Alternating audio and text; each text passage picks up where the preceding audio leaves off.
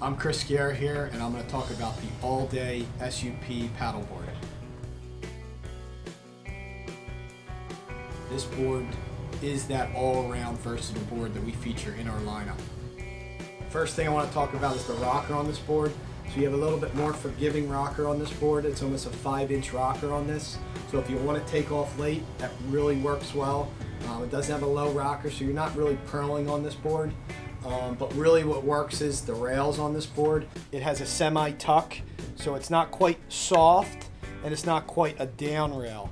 Um, this rail really works well with this rocker because you're going to still get some drive and water breaking off that you know that hardness here um, but it's not too hard where the rails are catching I want to talk about the deck here so as I talked about the rail the deck isn't I wouldn't call it a, um, a medium rail more of a full round rail that goes into more of a flatter deck. Flatter deck is what is going to give you that stability.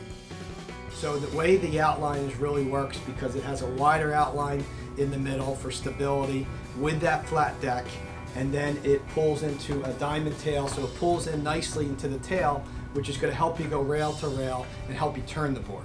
So besides getting the stability you have a board that has some performance in it which is really really works also on this board has a 2 plus 1 fin setup so you have options which is really I think important uh, when you're surfing or you're paddleboarding um, you can use the uh, 2 plus 1 for a little bit more hold, or you can take the, the two side bites out with a single, which will give you a little bit more of a looser feel. Um, I use the Easy Screw hardware, which really works well. So if I want to pull the fin up, I can um, to loosen that tail up. Or if I want a little bit more hold, I can push the fin all the way towards the back.